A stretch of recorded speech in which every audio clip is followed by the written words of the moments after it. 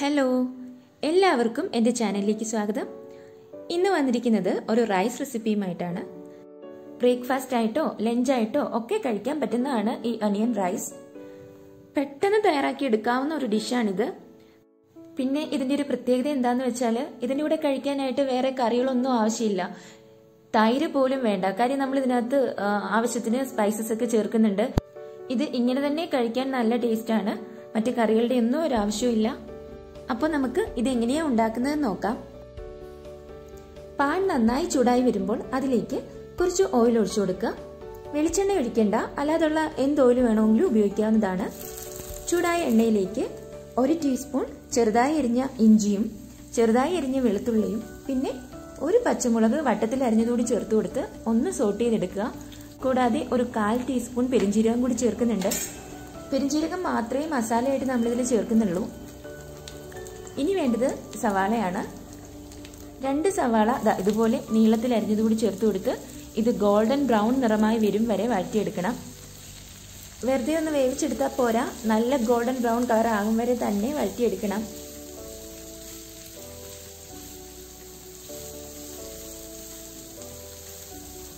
ദാ ഇപ്പോൾ നമ്മുടെ ആ സവാളയൊക്കെ നന്നായിട്ട് മുരിഞ്ഞു വന്നിട്ടുണ്ട്.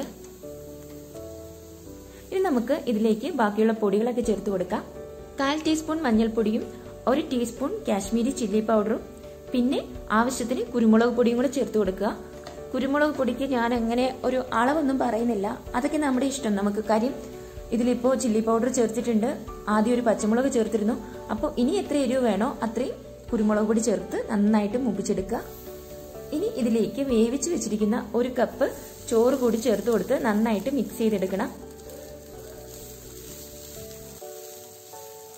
മിക്സ് ചെയ്യുമ്പോൾ റൈസ് പൊടിഞ്ഞു പോകാതെ ശ്രദ്ധിക്കണം കേട്ടോ. ഞാനിപ്പോൾ ഇവിടെ ബസ്മതി റൈസ് ആണ് എടുത്തിരിക്കുന്നത്. ബസ്മതി റൈസ് തന്നെ വേണമെന്ന് നിർബന്ധമൊന്നുമില്ല. നമ്മൾ സാധാരണ ചോറ് വെക്കുന്ന അരി ഉണ്ടല്ലോ. ആ അരി ആയാലും മതി. പിന്നെ ഇത് കാണാനുള്ള ഒരു ഭംഗിക്ക് വേണ്ടി മാത്രമാണ് ഞാനിപ്പോൾ ഇവിടെ ബസ്മതി റൈസ് എടുത്തിരിക്കുന്നത്. ഇനി നമുക്കിതിലേക്ക് ആവശ്യത്തിന് ഉപ്പ് ചേർത്ത് കൊടുക്കാം. ഉപ്പ് ചേർത്തിട്ടാണ് ചോറ് വേവിച്ചത്. ഇനി പോരാന്നുണ്ടെങ്കിൽ മാത്രം ഉപ്പ് ചേർത്താൽ മതി. ഇനി നമുക്ക് ഇതിലേക്ക് ഒരു പകുതി നാരങ്ങയുടെ നീര് കൂടി ചേർത്ത് കൊടുക്കാം.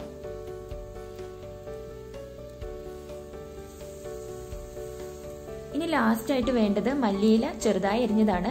ഞാൻ ഇവിടെ അരക്കപ്പ് മല്ലിയില ചെറുതായി അരിഞ്ഞത് കൂടി ചേർത്ത് കൊടുത്ത് ജസ്റ്റ് ഒന്ന് മിക്സ് ചെയ്തിട്ട് ഫ്ലെയിം ഓഫ് ചെയ്യുകയാണ് ഇത്രയേ ഉള്ളൂ നമ്മുടെ ഒനിയൻ റൈസ് നല്ല സിമ്പിൾ ആയിട്ടുള്ള റെസിപ്പി അല്ലേ?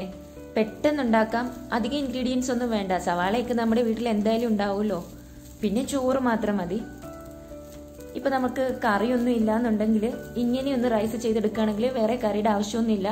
മസാല ഒക്കെ നമ്മൾ ചേർക്കുന്നുണ്ട് നല്ല ടേസ്റ്റിയാണ് ഇത് കഴിക്കാനായിട്ട്. എല്ലാവരും ഒരു വട്ടം ഒന്ന് ട്രൈ ചെയ്ത് നോക്കണം കേട്ടോ. വേണമെങ്കിൽ നെയ്യുടെ ഫ്ലേവർ ഇഷ്ടമാണെന്നുണ്ടെങ്കിൽ ലാസ്റ്റ് ഒരു ടീസ്പൂൺ നെയ്യ് കൂടെ ചേർത്ത് കൊടുക്കാം. അപ്പോൾ ഈ റെസിപ്പി എല്ലാവർക്കും ഇഷ്ടമായി എന്ന് വിശ്വസിക്കുന്നു. ഇഷ്ടമായാൽ വീഡിയോ ലൈക്ക് ചെയ്യാനും ഷെയർ ചെയ്യാനും കമന്റ് ചെയ്യാനും മറക്കരുത്. പിന്നെ നിങ്ങൾ എന്റെ ചാനൽ ഇതുവരെ സബ്സ്ക്രൈബ് ചെയ്തിട്ടില്ലെങ്കിൽ ഒന്ന് സബ്സ്ക്രൈബ് ചെയ്യുക. തൊട്ടടുത്തുള്ള ബെൽ ബട്ടൺ കൂടി ഒന്ന് പ്രസ് ചെയ്യണം. എങ്കിൽ മാത്രമേ പുതിയ പുതിയ വീഡിയോസിന്റെ നോട്ടിഫിക്കേഷൻസ് കിട്ടുള്ളൂ അപ്പോൾ മറ്റൊരു വീഡിയോയുമായി വീണ്ടും കാണാം. താങ്ക്